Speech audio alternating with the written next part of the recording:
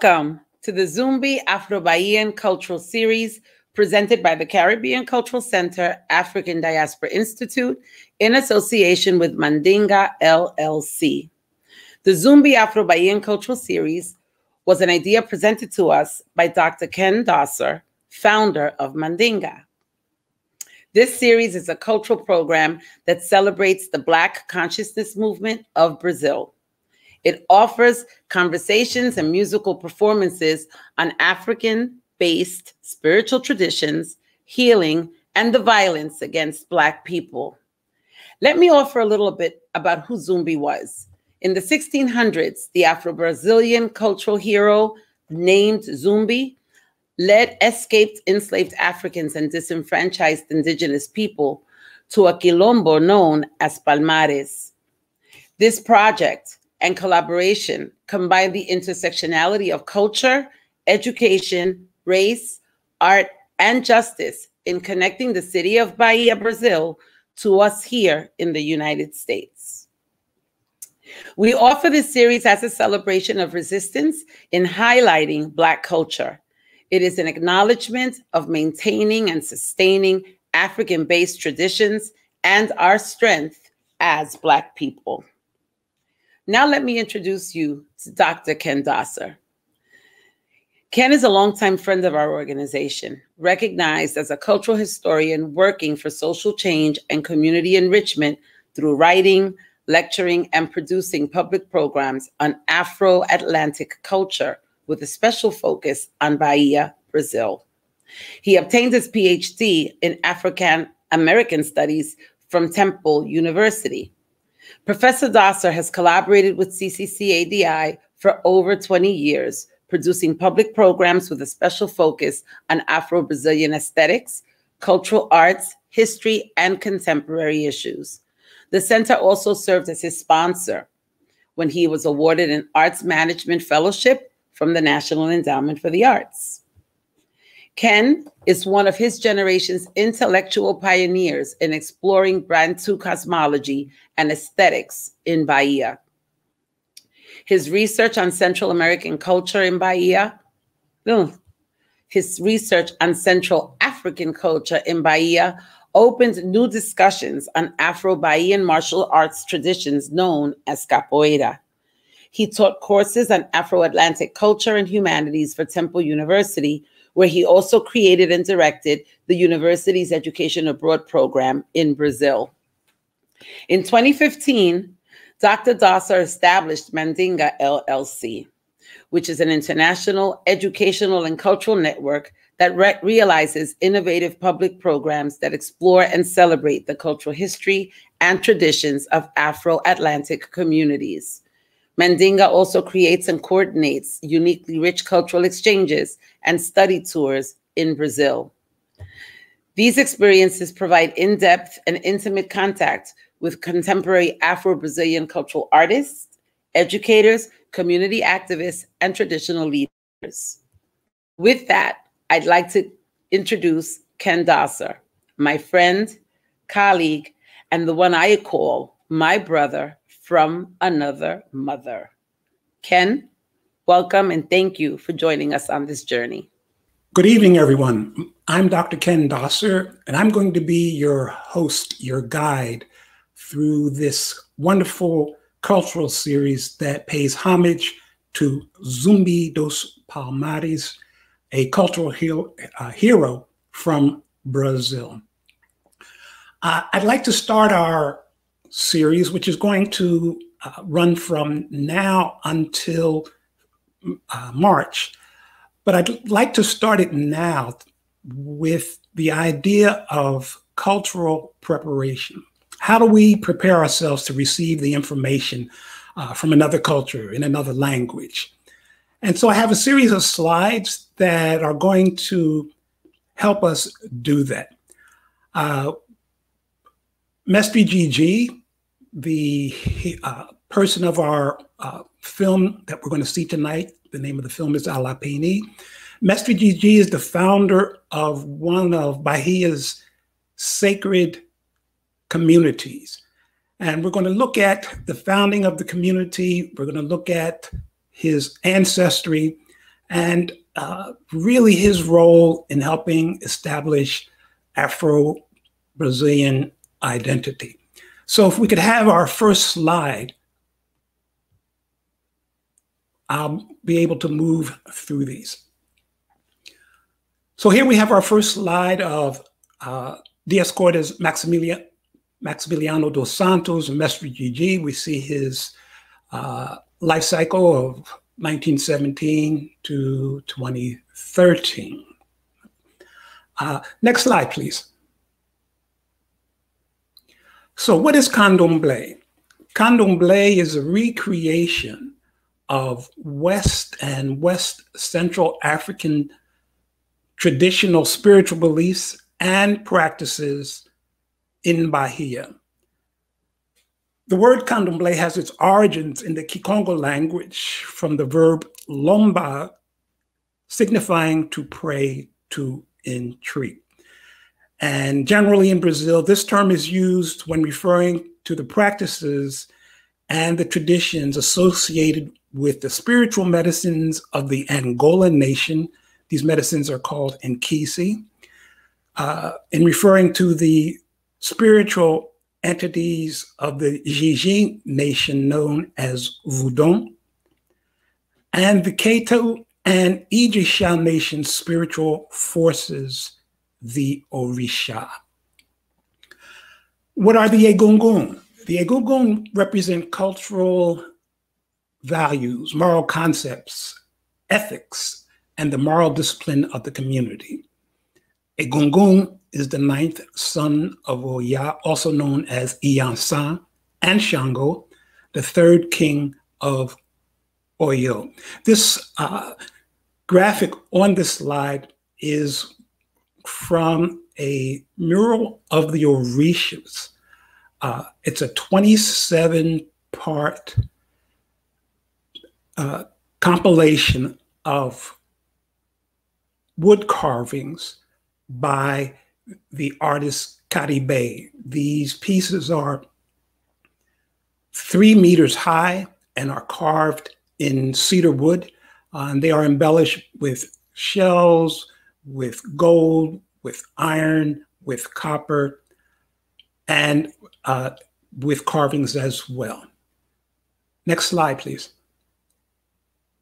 Shango was the creator of the Egungun cult. He was also the first, first Oje, the first priest of the dead, and the first Alapani, the first high priest. In Yoruba culture, Shango represents swift and balanced justice. As you can see, almost in the middle of this graphic, he carries his divine weapon, a double headed axe called Oshe. And when we look at the Egungun masquerades and the tradition itself, we'll see that these masquerades share some of the symbols of Shango worship. Here is another one of Caribe's uh, wood carvings. Next slide, please. Now, one of the important factors in the survival and the continuance and recreation of African spiritual traditions in Bahia was the work, the fundamental work done by females, those I called spiritual mothers. So we're going to start looking at one spiritual mother, Marcelina da Silva. Her initiation name is Oba Tosi. She was one of the founders of the first house of the Nago tradition of Candomblé in Bahia. This house, or this terreiro, is called Casa Branca do Engenho Velho. This is located in Salvador. And this uh, community was founded in 1830. Marcelina da Silva initiated Engenia Anos dos Santos, Oba Biyi, who founded another terreiro, Ile Ashe Opo Afonja in 1910. Uh, she was called Mai Anina, and she initiated Maria Bibiani do Espírito Santo, who is the mother of Mestre Gigi. She is called My Senora. All right, next slide, please. Here we have a slide of Mestre Gigi's mother, My Senora, who led Ileache Opo Afunja in Salvador from 1942 to 1967. And she became one of the greatest religious leaders in the history of Brazil. My Senora, as she's called, was a descendant of the traditional Asipa family originating in Oyo in Nigeria and Ketu in Benin. And under her picture, you see two names, we, or three names really. We see her birth name, Maria Bibiani dos Espíritus Santos. We see her name, My Senora, and we see her uh, initiated name, Oshun Muiwa. Next slide, please. So Gigi comes from this lineage, this lineage of, of strong Afro descended women.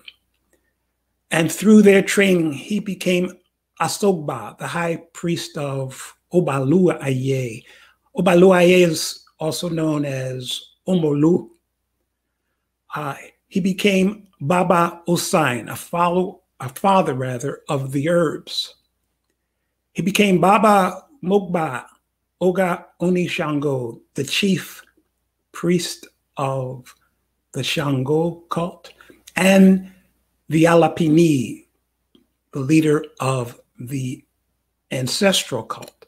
He was installed in this position by Alaketu, king of the Republic of Benin, in 1983.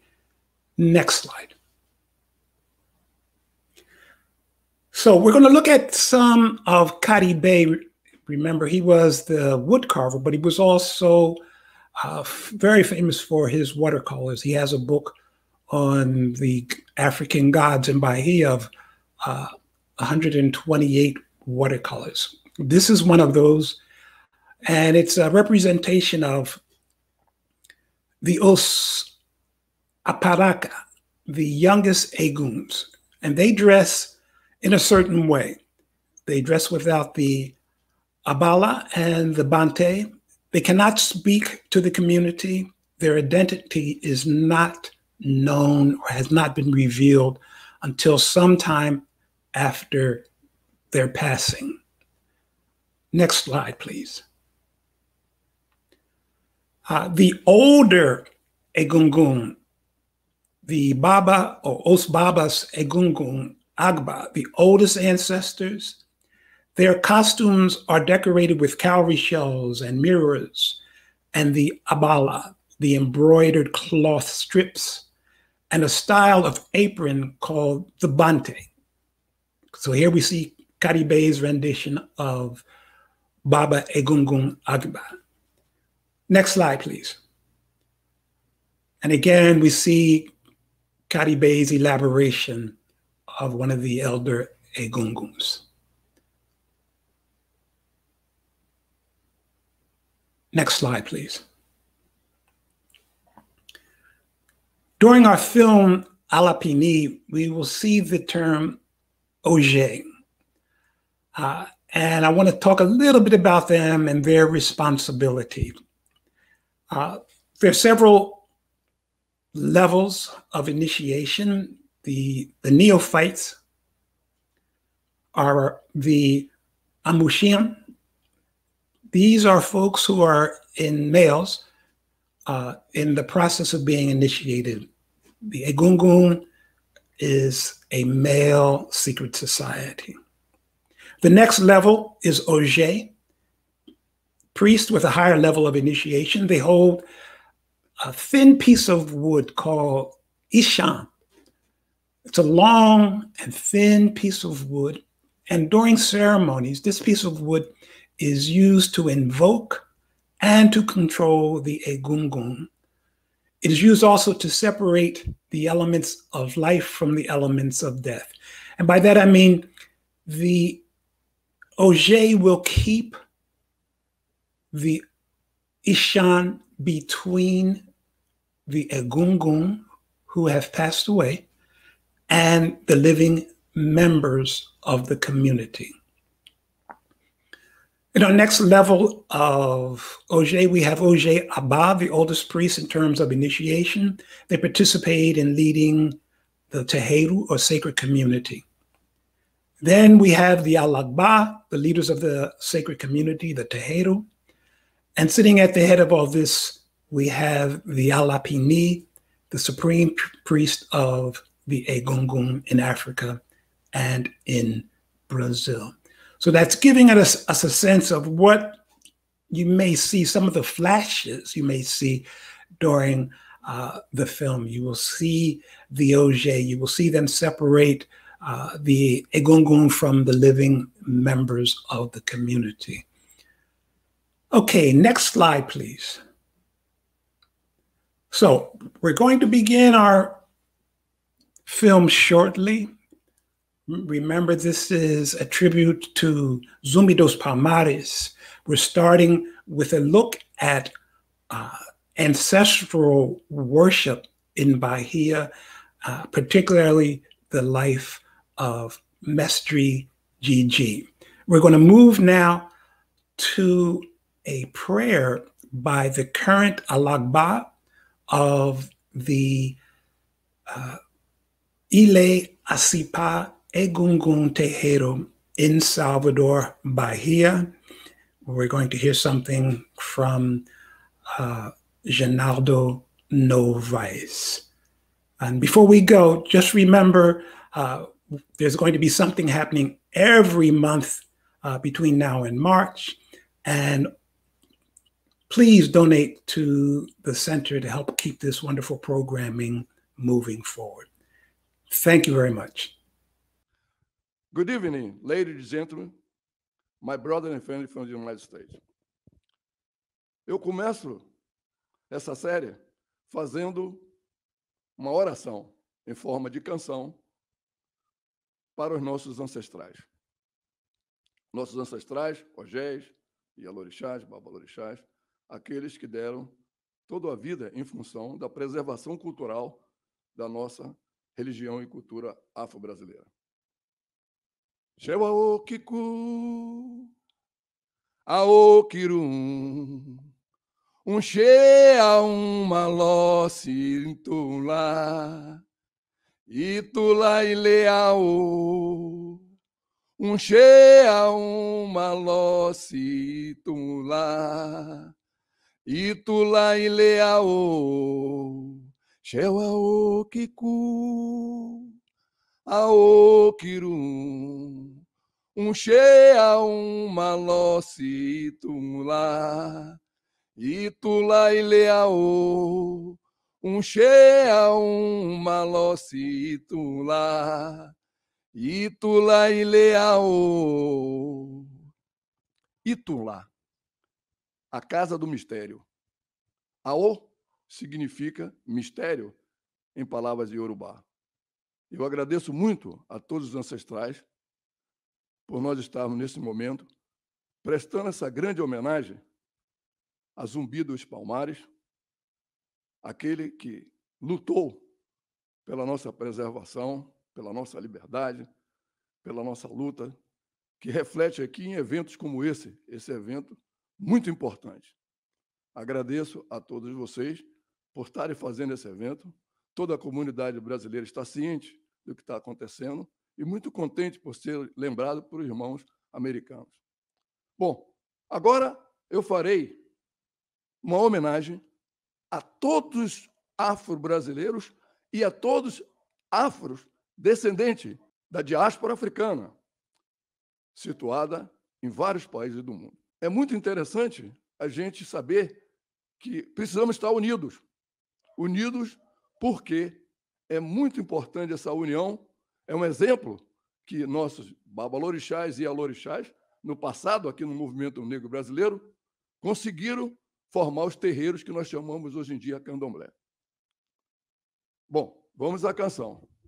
Ó pé, ó pé irê, ó pé irê, ó pé irê, acho ó pé orenho, ó pé, ó pé, ó pé irê, ó pé pé irê, acho pé orenho, ó pé, ó pé chimilaô, pé irê, chimilaô, pé irê, ó pé chimilachó, Peire, chimilachó, peire, pé chimilaió, peire, chimilaió, peire, ó pé, ó peire, ó peire, ó peire, acho pé orenho, ó pé. Eu agradeço de todo o coração a todos que estão presentes nessa, nesse evento maravilhoso em que a gente relembra aqueles que foram tão importantes, que foram os nossos ancestrais, que nos deram essa alegria de vida, essa alegria que está em todos afrodescendentes dessa diáspora africana. Muito obrigado.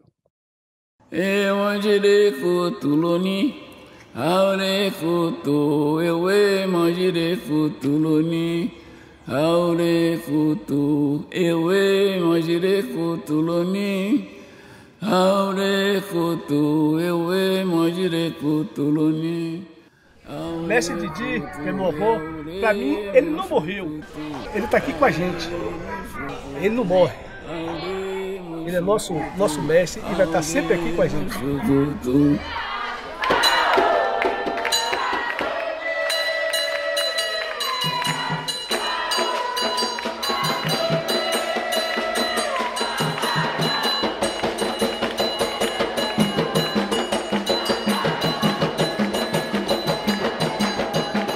Eu sou Jean Lochedê, neto do mestre Didi. Vou apresentar aqui agora o Ilê Achipá. E nós temos aqui o assentamento de Exu. Né? Exu é nossa iniciação, né? Nosso que comanda, que dá o caminho de todos nós. Exu, Aroi, Cocorobija, Aroi, Exu, Cujé, Cujé, Aroi, Exu, Exu, Aroi, Exu, Cujé, Cujé, Aroi, Exu, Cocorobija. Estamos aqui agora no Opacocô, é uma das aves sagradas que nós celebramos também, faz obrigação para manter a árvore sagrada da gente. Liroco, a tradição né, de todos os terreiros, tem um pé sagrado de louco, a gente salva ele, agora na cabeça e abraça, louco.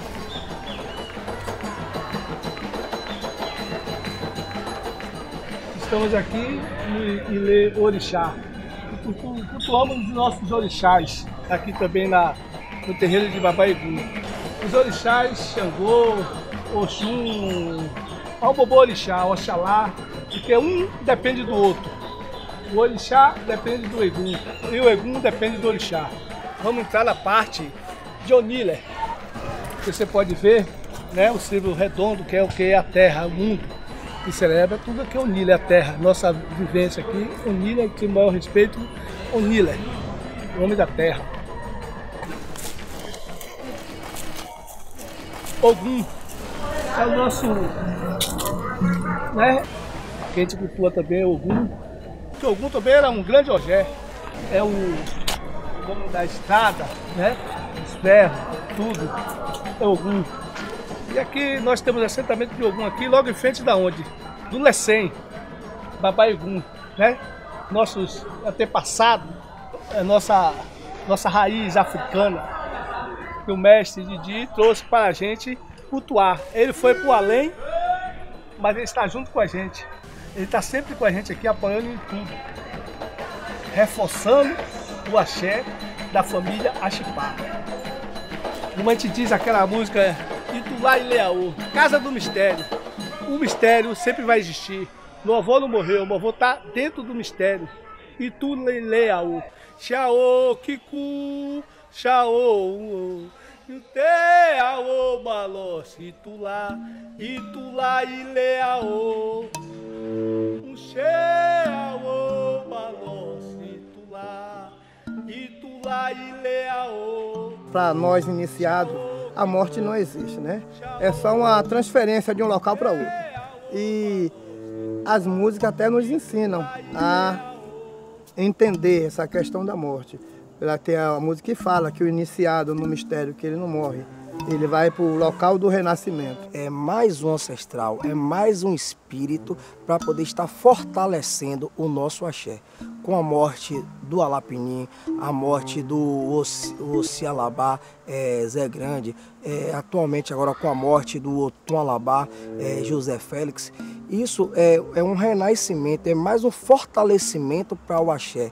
E iremos dar continuidade a esse legado deixado pelo Alapinim e pelos esses outros OGS que aqui já passaram. Hoje ele é um, um, um, ancestral e um ancestral que nos dá fortaleza, digo a mim, me dá tranquilidade quando eu preciso, eu sei que ele está comigo. A morte é um sinal de, de, de, de continuidade. A pessoa faleceu, mas o espírito está vivo. E as pessoas que nunca são esquecidas, elas nunca vão morrer. Elas não morrem. Inclusive a morte para a gente é uma iniciação. Não existe morte propriamente dita, existe o ato de morrer, né? O Iku, né? Então o mestre sempre valorizava muito o valor da nossa cultura, né? Hoje em dia, nós estamos aqui na Bahia já, é, quando a gente tem o, o nosso nossa cerimônia de como a gente chama na hora da morte, a gente está fazendo as coisas necessárias, dando aquela beleza estética e chamando aqueles orixás que são é, orixás e eguns que são responsáveis pelaquela pessoa que está indo para ela ser bem recebida. Depois tem os axixi. Quem que ensinou tudo isso? Mestre Didi. Então ele é o mestre, entendeu? Nunca será esquecido. Vão passar milhões de anos e o mestre Didi ainda vai ser falado.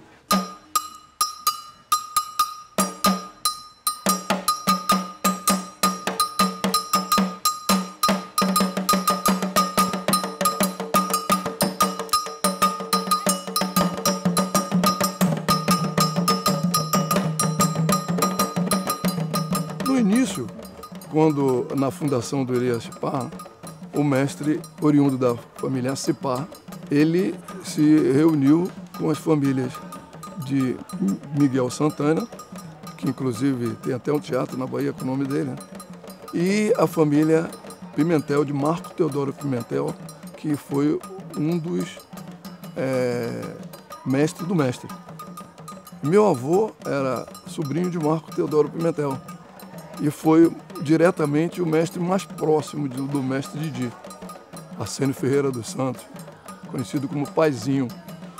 Ele, é, ele foi uma época muito mais conhecido no Rio do que aqui, porque na época antiga a perseguição religiosa foi muito profunda aqui.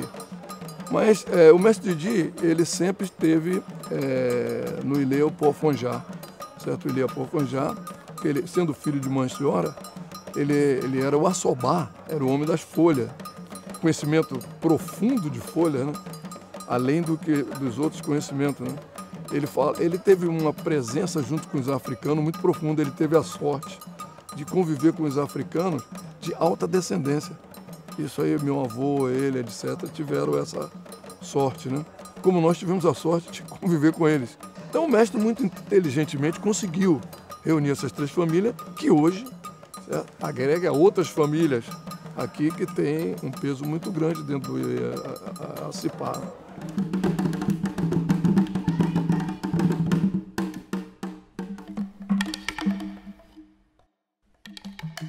Nibolo bolo zabá, nibolo coia.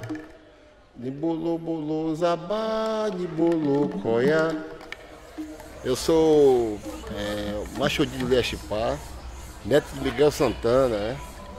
um dos percussores da nação Tapa. Para o culto do, dos ancestrais, usamos o enxã. E aqui, dentro do, do culto dos abá, usamos o, uma vara de, de bambu para invocar o espírito. O espírito do ancestral da nação Tapa. É o Gunocô. O Bonocô hoje, aquela avenida que a gente fala que é Bonocô, realmente não é Bonocô, é Gunocô. Gunocô Nissobô, onde meu avô, Miguel Santana, era o Zabá, um título supremo dentro da religião Tapa. E nessa coisa que foi, foi se perdendo um pouco. E o mestre Didi chegou e como somos três nações dentro do terreiro de Axupá, achou que o ideal é colocar aqui ah, também o, o, o, culto do Zabá para poder juntar os grupos, né? As etnias, tentando resgatar toda essa nação tapa para poder dar continuidade à religião.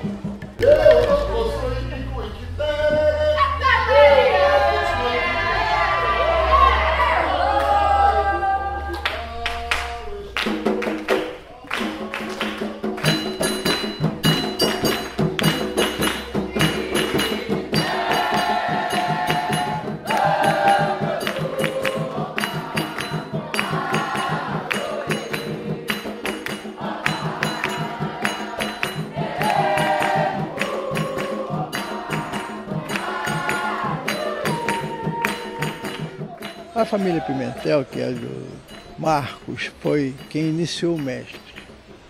Foi quem fez mestre, Ogé e tudo mais, lá na ilha de Taparica, entendeu? Com oito anos de idade.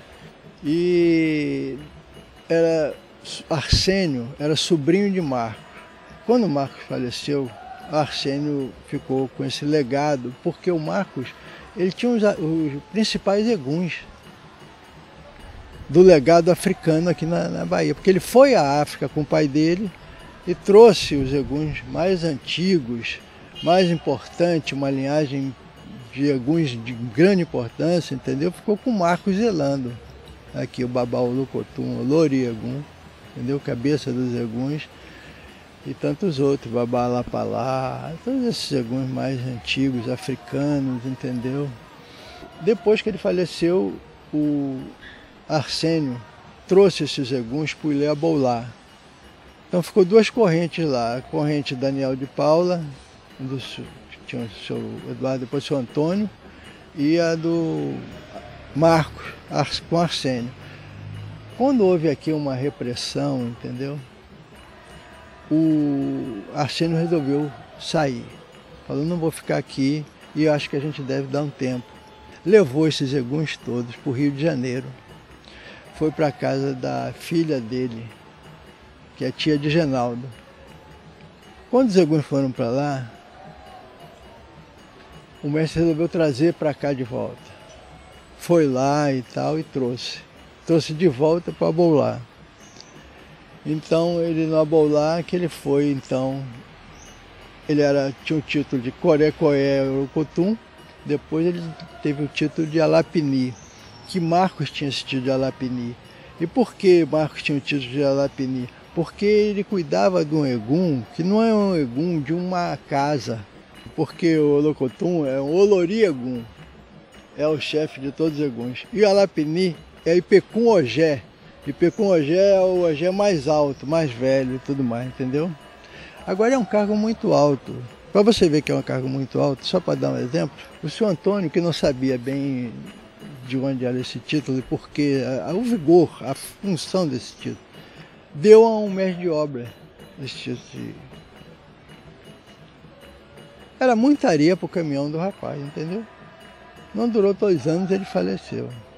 E aí Didi foi falar com Bajé Bajó, que era o título de São Antônio. São Antônio, esse título é um título assim, assim, assim, assim não é para uma pessoa qualquer. Isso é um título para uma pessoa como o senhor, mas já bajó e tal. Isso eu, eu não tenho visto que aconteceu já com coisa, entendeu? Não, eu estou muito bem com o meu título aqui de Bajé Bajó. A Lapini fica bom para o senhor, o senhor Dioscório. Aí a gente falou, ah, então tá bom. O senhor quer que eu seja o Lapini, eu vou ser o Lapini.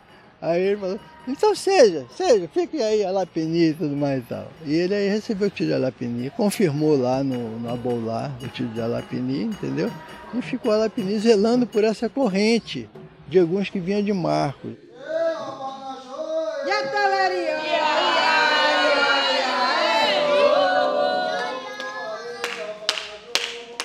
Na verdade, a família Chipar, quando nós começamos a, a ter mesmo a noção foi quando meu avô foi na África, né? Em 1965, que ele foi na África, aí tem até, tem até um conto dele que ele fala isso a respeito quando ele estava lá no palácio, aí ele fez um.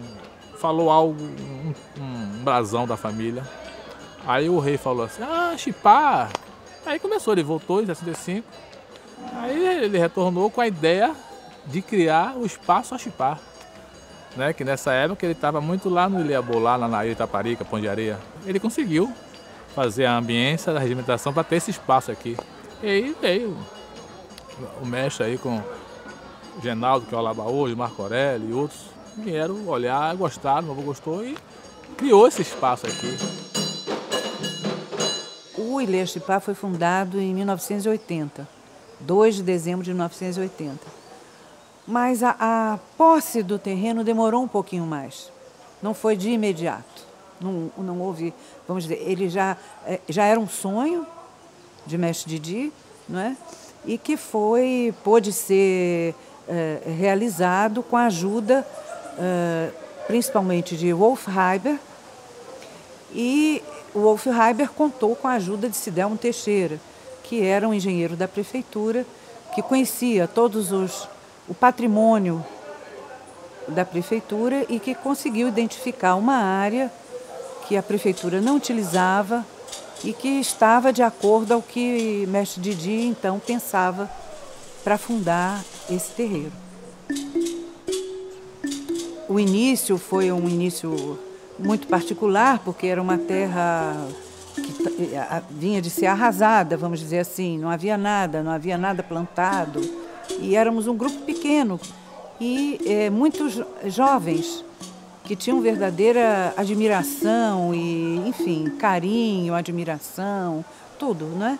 Eram muitos deles adolescentes ainda, outros um pouquinho mais velhos, e que cercavam a Didi, né?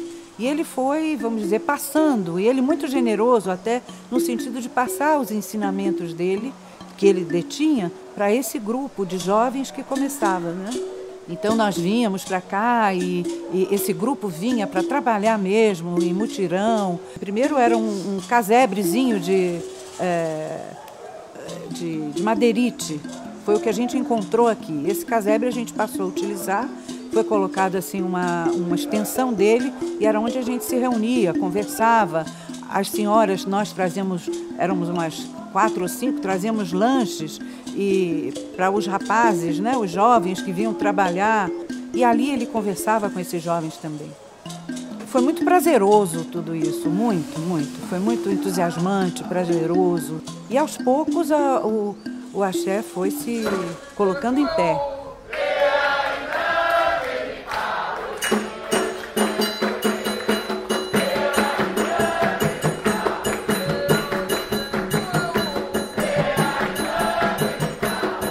O mais que eu acho legal nisso tudo foi que as obrigações começaram a ser feitas, né? O assentamento da porteira, o assentamento da, da parte do axé do barracão, aquela, aquela da maneira que o, o mestre Alapini fazia, sabe, orientando. Aí nós começamos a, a criar aquele querer estar junto dele, que ele preparou um grupo de meninos. Fomos oito a reta final para poder confirmar e estar tá aqui com ele aqui mantendo essa tradição. O meu avô foi muito feliz em deixar o corpo aqui do terreiro já pronto. Em 98 ele colocou já, digamos, o alabá, o otum e o si. Interessante que a partir de 2000 que nós começamos mesmo a administrar o terreiro, que em 2000 ele começou a ficar mais problema de saúde, né? Tinha um OGE aqui a ser confirmado em 2000. E ele falou assim: Eu só vou de manhã e o resto é com vocês. E nós começamos já, a gente, vamos começar a nos organizar, porque isso aí já é um toque para o terreiro começar já a pensar que o nosso Alapininha um dia vai estar só nos olhando.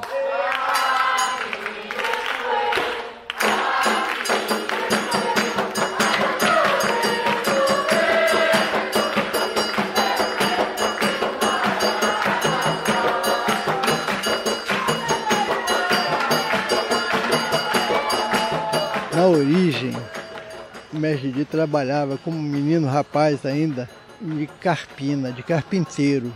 Era carpinteiro. E ele foi crescendo na profissão de carpina, embora ele teve uma hora lá que ele largou tudo, aborrecido e tudo mais, mas ele continuou com essa habilidade no trabalho de carpinteiro até ser mestre carpina, mestre carpinteiro, entendeu? Então devia ter nessa época, né, essas organizações de trabalhadores né, que tinham essas graduações. E ele teve essa graduação de mestre carpina. E ficou mestre, mestre de dia, mestre de dia, mestre de dia, e aí ficou. Mas depois isso adquiriu uma outra concepção, uma outra conotação, né? De mestre como um sábio, uma coisa assim, tudo mais, né? Mas a origem é essa, mestre carpinteiro. Para ele, a transmissão da, dos valores da tradição, a continuidade através dessa transmissão, era fundamental. Não era a mesma didática, nem a mesma postura do mundo de transmissão europeu legado para nós pela escola e tudo mais. Não era uma coisa escolar, mas uma coisa de iniciação, de iniciação do, no saber da tradição. Isso ele preservava muito e corrigia os outros, entendeu? Né? Ele, ele, não tinha essa de ficar inibido de chamar atenção numa coisa se está errada ou não, porque ele dizia que o compromisso dele era com a tradição. Ele tinha que manter a tradição. Essa ideia de escrever, de divulgar os valores, entendeu? Ele foi muito o Yorubá mesmo, entendeu? Ele fez esse livro Yorubá tal qual se fala, né? É uma coisa bem no início e tudo mais, mas a importância da língua para a manutenção do grupo, ainda mais no caso Nagô, que as, a liturgia é feita em Yorubá. Toda a construção da liturgia se apoia no Yorubá. Então é importantíssimo. E essa, é, é, essa Yorubá do terreiro é uma palavra sagrada, consagrada ela tem efeito sagrado. Você pronuncia ela, ela tem força, ela tem axé, como se diz. Ela tem força. Então ele viu que o Yorubá tinha que ser preservado. Não podia deixar sair por conta dessa, desse fundamento. Não era uma erudição, nada disso. Era por uma precisão mesmo da importância da língua Yorubá para a continuidade da tradição.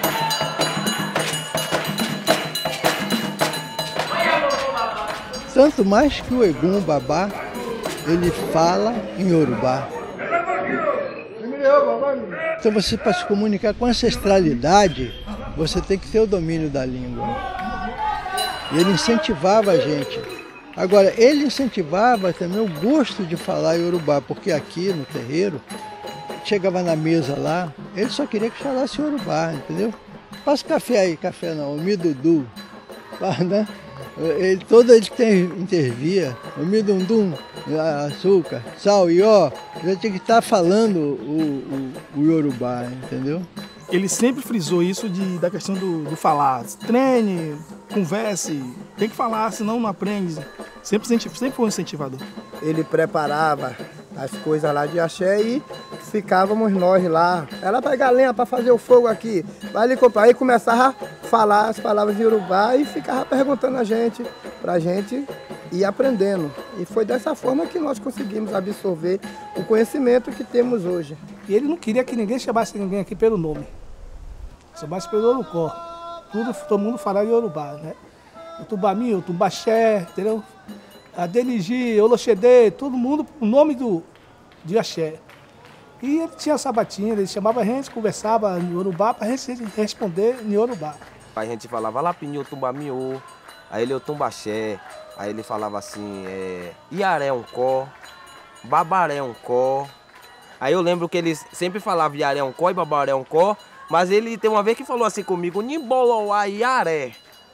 Aí eu disse, pô, mestre, aí você me pegou, aí você me pegou. Ele, não, Nimboloá, onde está a sua mãe? Nimboloá, Iaré. E aí todo sábado ele incrementava uma coisa, colocava uma, um provérbio, um pronome mais diferente pra gente ir aprendendo. E mandava sempre a gente falar uns com os outros, começar urubá, tal, cantar. Na hora do almoço era... Tê, tê, bom, tê, tê, tê, bom, olomiló, G1 te te te bom. Aí tava dizendo que era a hora do AG1, né? E aí na hora que acabava a gente agradecia a manhaninha, porque o espaço, né, no Fongé de manhaninha. Aí acabava, agradecia a merendeira, né, que fazia e depois cantava. Modo pé, ó babi, ó batile, comi, mo batile, comi, mo batile, comi babi. E aí estão todo mundo na fila cantando para agradecer que aquele espaço estava ali.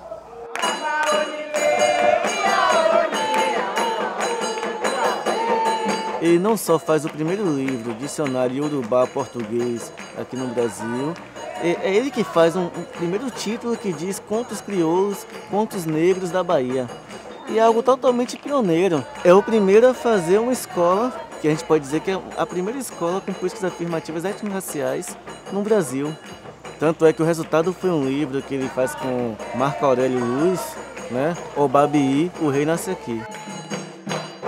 Havia a, a ideia de Didi de que Marco Aurélio viesse morar aqui e de que eu viesse também. Então eu fui convidada, fomos convidados, não é, é por mestre Didi para vir aqui para Salvador para trabalhar na mini comunidade Ababi. Eu era formada em psicologia na ocasião não é? é? minha experiência de vida era bem reduzida, bem, ah, vamos dizer assim, muito limitada, né? Meu mundo era muito pequenininho, né? Era um mundo de classe média carioca, né? De zona sul. Então, é, aos poucos, esse mundo foi se abrindo ainda lá no Rio mesmo, né? E aí, a, com o convite de Didi, ele descortinou para mim uma outra vamos dizer assim, uma outra, um outro universo, né? que eu não conhecia e pelo qual me apaixonei. Né?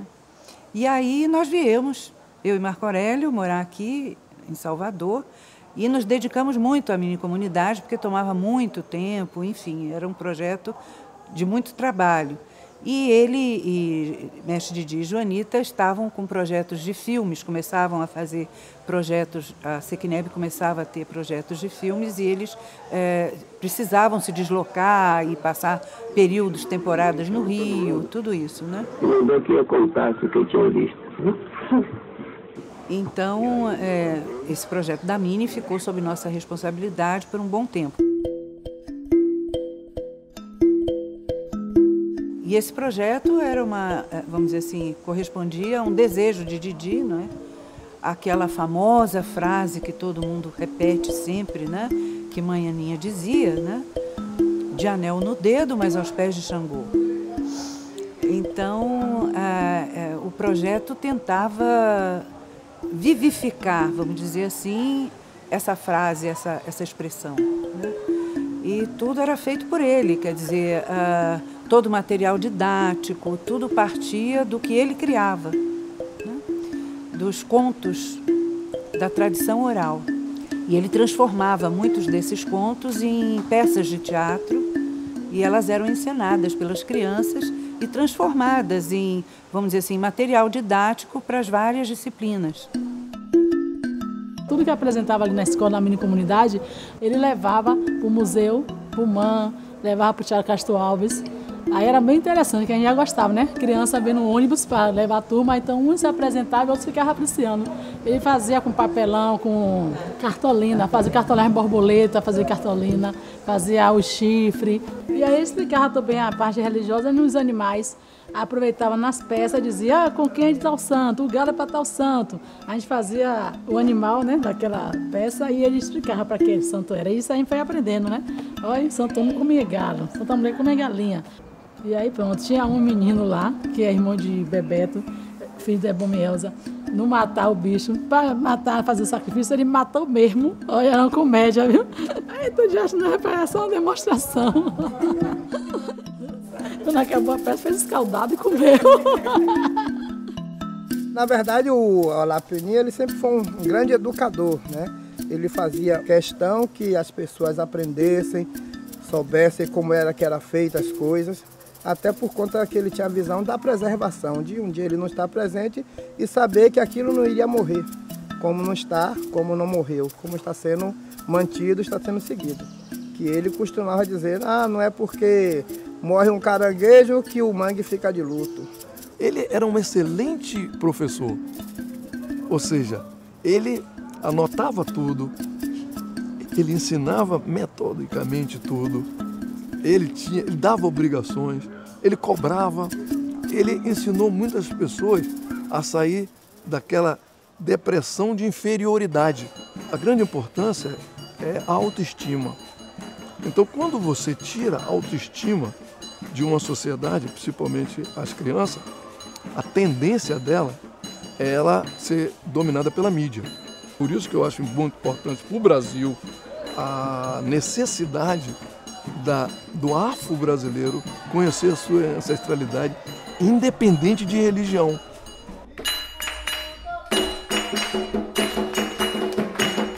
A minha religião é a minha identidade. E ele sempre soube é, a parte da preservação. Porque isso é um legado que já vem há muitos anos atrás. Então, é, esse legado é, foi passando de, de geração em geração até chegar a essa nossa geração. E ele nos preparou muito bem. Ele nos ensinou, ele nos ensinou a parte religiosa e a parte é, social. Desde a minha comunidade Obabi, ele sempre pensou na visão de, da educação. E ele via, junto com Dona Joana, que a gente era muito unido. Né? A gente era jovem, era novo, era menino, mas era muito unido. A gente tinha liderança entre a gente mesmo. Tinha a, a, a, vai fazer, a gente vai fazer isso por questão de ver ele fazer esse tipo de coisa. Então era um espelho. Então, ele percebendo isso, fizeram o, Odô, o projeto Odomodé, né, que era para capacitar os jovens do terreiro e tal. E nisso a gente foi passando, o tempo foi passando e foi o primeiro contato assim é, técnico com equipamento de informática, foi quando a questão da, da do acesso à internet, a, a, manutenção de microcomputadores, uma parceria entre a UNEB e o Cefet. E dentro desse próprio curso da capacitação ele teve aula, teve aula do professor Marco Aurélio, teve aula dele, né, o, o Alabá Genauro também, dava aula de, de aritmética, de matemática e o mestre com o Yorubá. Ele educava a gente de uma forma assim, pra gente encarar a vida lá fora também, né? A gente encarar essas frustrações que tem aí fora, é ladrão, é isso, é aquilo, e ele sempre orientando a gente para fazer um curso. E aí tá fazendo o quê? Não, mestre, você cortar um cabelo, por incrível que pareça, ele faleceu com o cabelo cortado por mim. Eu fui o último sacerdote que fui feito aqui no Ilhaxipá com o mestre vivo. Aí me confirmei para Algan lá no Afonjá e fui lá na Barra, tive toda uma conversa com ele. Tal, ele até teve um negócio assim comigo, mas depois me deu um presente, eu entendi o presente que ele me deu. Como se dissesse assim, tudo no seu tempo, tudo no seu tempo tem a hora. Isso aí, isso aí é o mestre de dia. A conversa do mestre foi tão boa para mim, como para outras pessoas, que tem coisas que eu assimilo que ele fez no passado eu faço hoje, no trabalho, na minha vida, entendeu? Se eu vou agir de uma forma que eu tenho dúvida, eu penso no passado as coisas que ele falava, porque ele dizia, olha, Ogé é marceneiro, Ogé é pintor, Ogé é tudo. Ogé faz tudo. Então tem muita coisa que ele passou, né? Com a experiência dele, de religioso e de homem, né? De, de uma pessoa que veio com, com, com um conhecimento individual muito superior. Isso é, nos ajudou e, e, me ajuda muito. Então tem muita coisa que eu, algumas coisas que eu faço, é coisa que eu assimilei dele, que eu aprendi com ele. E eu bato no peito e digo mesmo. Esse homem para mim, ele, ele é um. Eu não tenho nem palavras. Ele para mim sempre foi um enigma, né? Uma pessoa assim de dentro do contexto de uma comunidade onde nem todos têm acesso a uma escola. E este homem, ainda criança, ele vai, o conhecimento todo que é passado para ele, ele consegue transcender a cada ensinamento desse. Você vê a obra, ele vai aprender, aprende os emblemas dos orixás e gradativamente ele vai transformando. Quer dizer, eu já abro o olho e já vejo isso desde que nasci. Quer dizer, ele já vem fazendo, quem mandou fazer? Onde ele viu? Porque agora tem várias pessoas fazendo a partir dele. Então ele é um inovador. Né? A questão da, do, do dicionário Yorubá, no sentido de manter essa cultura, né? de fazer um Yorubá tal qual se fala, com as palavras que tinha Yorubá. Onde será que viu em 1940 e tanto, eu acho? Quer dizer, tudo isso era uma pessoa que tinha as antenas ah, ligadas, parece que como não estivesse nem no próprio mundo. E ao mesmo tempo, ele vai passando isso né, para as pessoas que estão em volta, né, porque já é mais do que conhecida, a gente vê inúmeras teses, a própria mini comunidade, que foi feita em muitos, é, como é que eu diria, ah, os ensinamentos, a proposta, né, que a gente vê isso bem, eu acho que o trabalho que faz Marco Aurélio Luz com Nassi Márico e a Secneb né, implantou e eles dão continuidade a essa linha de pesquisa que existe na UNEB, né, muito, muito forte do vivido concebido né, e do, de, pra, da porteira, oh, de dentro para fora, de fora para dentro, uma série de, de ensinamentos, né, de dizeres e que influencia né, realmente toda uma comunidade e as pessoas. Ele tem qualidade estética como escultor, ele tem qualidade estética como escritor e as monografias de Mestre Didi. Vamos pensar no livro sobre Leo Chopin Fonjá. Todo mundo que pesquisa a cultura afro-brasileira tem que ter lido aquilo, vai ter que ler um dia. A importância daquele texto para trazer a possibilidade de dezenas e centenas de outros textos teóricos, inclusive artísticos. Às vezes brincando né, com as pessoas, eu digo que Didi é, é o Da Vinci brasileiro homem de todos os instrumentos que você imaginar. É preciso lembrar da poesia que ele fazia. É preciso lembrar do canto que ele fazia. É preciso lembrar das peças de teatro que ele produzia. Toda uma literatura ligada à questão da arte afro-brasileira e da arte africana. Então, esse senhor que viveu esse tempo todo aí para nos dar lição de arte e cultura, ele tinha uma coisa que a gente às vezes esquece nas pessoas: talento múltiplo. E a grande façanha dele foi driblar essa sociedade preconceituosa, racista, e mostrar que negro também tem talento e pode ostentar isso em qualquer ambiente. E não na classificação hierárquica de Casa Grande e Senzala, de que a gente tem que ficar lá na Senzala e na Casa Grande os chamados grandes artistas.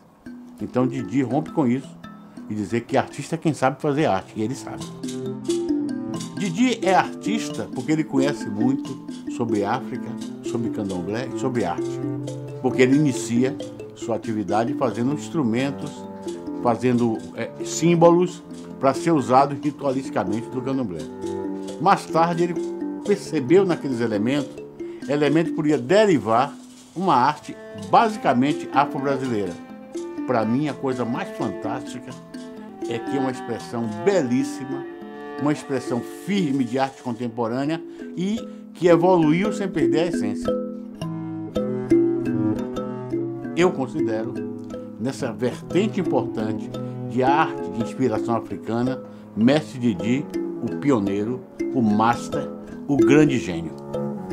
E ele, como artista plástico, ele foi fantástico, sabia é, fazer exposição em todo mundo e não estava é, querendo que aquilo fosse o principal, ou seja, que a figura dele fosse lembrada através daquilo. Ele dava mais valor à ancestralidade do que ele próprio como artista, porque ele tinha essa visão global das coisas e sacrificou. Poderia ser milionário e tá lá na dele, mas não. Ele entregou toda uma vida em função de uma comunidade. Eu aprendi essa arte mestre da minha comunidade ao Babilu. Mas o mestre ele nunca soube que eu sabia fazer a, as, as artes dele. O mestre só veio saber dessas artes que eu já sabia fazer quando ele estava adoentado, né? Que aí eu comecei a fazer e fui a mostrar a ele as peças que eu estava fazendo. E aí ele ficou muito satisfeito. Ele disse, pô, meu netinho, eu pensei que eu ia morrer e não ia ter esse orgulho de ter uma família minha, um neto meu, sangue de fazer essas, essas artes minhas, essas peças.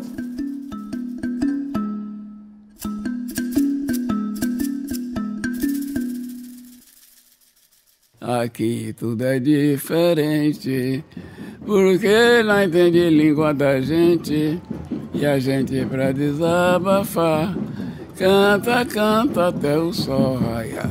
O Burucô é uma troça que conta, por assim dizer, toda a trepidante trajetória da perseguição né, que vem lá do tempo de escravidão. Os próprios blocos sofriam de perseguição no carnaval, então ele incorporou essa, essa fuga, por assim dizer, dessa repressão nas cantigas do Burucô, entendeu? Tabará, tabará, tintim, jacaê, cujocô, Burucô, soldado é vem, Jacurimã, Burucô, vai Burucô, soldado é vem, Jacurimã, Jacurimã.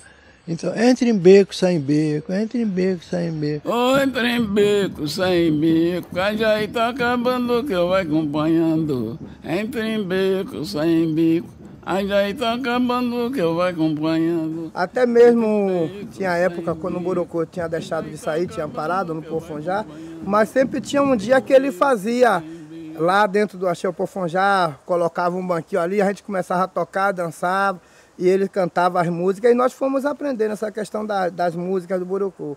E mais tarde o Borocô voltou a sair e ele, todas as segundas-feiras de carnaval, tinha um encontro no Largo do Terreiro de Jesus, onde reuníamos todos ali e cantávamos as músicas do Borocô, tomávamos aquela cervejinha que era de praxe, né? Nós saímos a passear com prazer e alegria, com a nossa troça Borocô em Fuliago. O mestre Didi era uma pessoa muito dedicada à tradição. De 78 para cá, todo dia de segunda-feira, eu, de carnaval, eu ia com ele no carnaval. O que, que ele fazia? Nós sentávamos ali no terreiro de Jesus, ficamos tomando uma cerveja, entendeu? E vinha gente do Gandhi, de não sei quem e tal, conhecidos, para conversar um pouquinho e tudo mais e tal. Depois ele dava uma volta, assim, e uma, às vezes um passeio grande. Encontrava um, encontrava outro, encontrava o Moacir, ele ficava conversando e tal. Só coisa do interesse da tradição. Carnaval para ele era isso. Depois nós cantávamos umas cantigas do Burucô, foi quando foi renascendo o Burucô, e na mesa ali nós fomos, foi juntando gente, depois não era só eu. Uma vez nós voltávamos do, ele encontrou com o Moacir.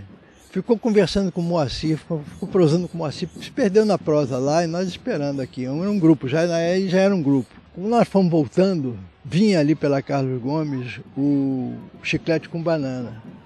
E todo mundo temia o chiclete de banana, porque né, tinha briga, tinha som, tinha não sei o que e tal. Aí falaram com o mestre, mestre, é, vamos arrepiar aqui a carreira e tudo mais e tal, porque tá vindo aí o chiclete com banana. Falei, não, mas nós vamos aqui pelo lado.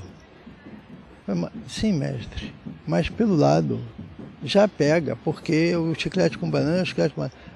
Aí não me interessa o chiclete com banana, vamos embora, vamos por aqui e tudo mais e tal. Aí fomos.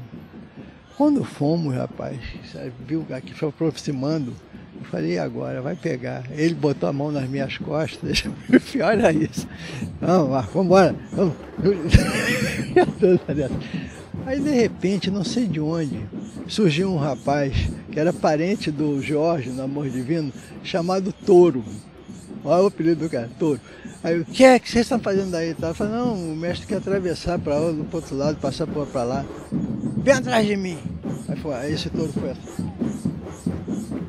Atravessou, rapaz, entendeu? E nós atrás dele. De onde saiu esse touro, nem como, entendeu? Só coisa do mestre mesmo, entendeu? Carnaval para ele era isso, assim, de ficar intercambiando, conversando e tal. Se divertia, ele se divertia com essas coisas todas, ele, era, ele tinha um bom humor de se divertir com essas coisas e tal, fazer graça e tudo mais. Ele era uma pessoa que era muito solta, assim, entendeu? Ele não era uma pessoa dura e tal. Aqui ele um pouco zelava pelas regras, né, e tudo mais, mas fora isso ele era uma pessoa comum. Aile, Ailo, Burucô já chegou. Aile, Ailo, Burucô já chegou. 100 anos do mestre Didi, ele que fundou Pai Burucô a sua filha, Sônia Nídia Maria, recebendo essa placa de homenagem ao lado do seu neto, José Pérez. Homenagem especial grande contribuição artística e cultural do sacerdote do ponto dos Egus, ao nosso querido Mestre Didi!